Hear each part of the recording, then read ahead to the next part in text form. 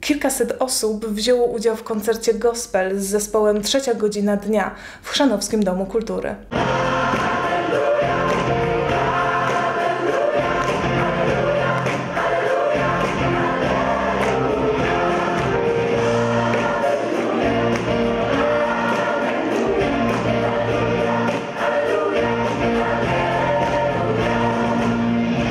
Koncert finałowy był uwieńczeniem dwudniowych warsztatów gospel, które w Chrzanowie przeprowadził zespół Trzecia Godzina Dnia. Warsztaty cieszyły się tak dużą popularnością, że na scenie sali teatralnej Domu Kultury ich uczestnicy wystąpili w dwóch kilkudziesięcioosobowych grupach, prezentując w towarzystwie solistów, chóru oraz orkiestry TGD kompozycje, które szlifowali przez ostatnie dni.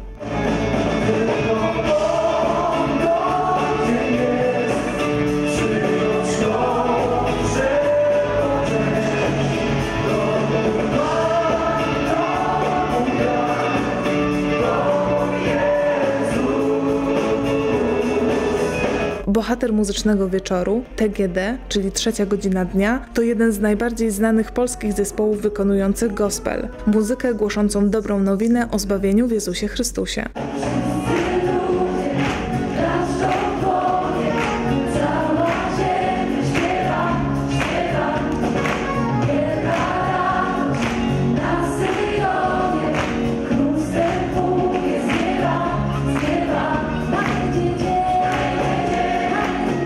TGD wystąpił w Chrzanowie pod przewodnictwem dyrygenta Piotra Nazaruka, który jest zarazem autorem i kompozytorem wszystkich utworów wykonywanych przez zespół. Sam kompozytor opowiadał o okolicznościach powstania niektórych z nich oraz zachęcał kilkusetosobową publiczność do wspólnego wykonywania utworów.